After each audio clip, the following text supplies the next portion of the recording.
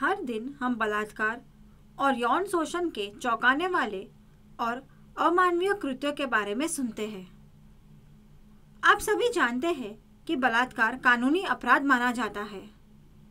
बलात्कार तब होता है जब महिला की इच्छा के विरुद्ध लिंग को योनि में ज़बरदस्ती प्रवेश कराया जाता है। पति पत्नी के बीच प्रेम के कारण सहमति से किया गया यौन संबंध बलात्कार नहीं है, जबकि ज़बरदस्ती संभोग बलात्कार है। हैरान कर देने वाली घटना में इक्यासी साल के एक शख्स ने एक नाबालिग लड़की के साथ बलात्कार किया। आपको डिजिटल रेप कानून के बारे में बताता हूँ। अब डिजिटल रेप क्या है?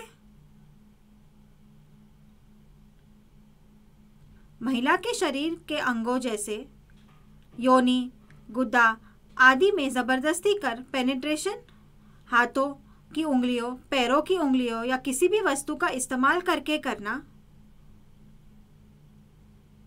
या उंगलियों, पैर की उंगलियों या किसी अन्य वस्तु का उपयोग करके मुँह में भी ज़बरदस्ती घुसना डिजिटल रेप की श्रेणी में आता है।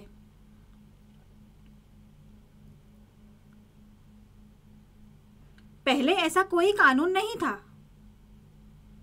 दिल्ली के प्रसिद्ध निर्भया रेप केस को याद करें, जहाँ उसके साथ एक बस के अंदर छह आदमियों ने बलात्कार किया था।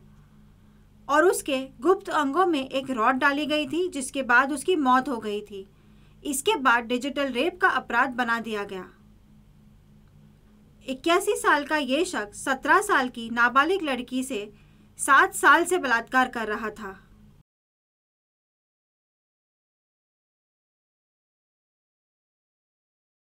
ये तब से है जब लड़की महज दस साल की थी और आदमी चौहत्तर साल का। वह व्यक्ति एक आर्टिस्ट है जिसका हिमाचल प्रदेश में एक कार्यालय था। उसके एक कर्मचारी ने अपनी नाबालिग बेटी को हिमाचल प्रदेश भेजा ताकि वह बेहतर शिक्षा प्राप्त कर सके। तभी से वह नाबालिग का यौन शोषण कर रहा था। बच्ची पिछले सात साल से चुपचाप सह रही थी।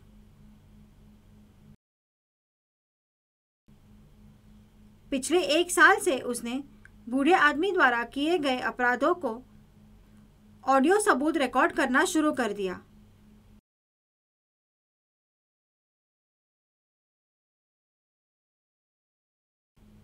बाद में उसने इसे एक महिला के साथ साझा किया, जिसने फिर बूढ़े आदमी के खिलाफ शिकायत दर्ज कराई। उत्तर प्रदेश के नोएडा में शिकायत दर्ज कराई गई।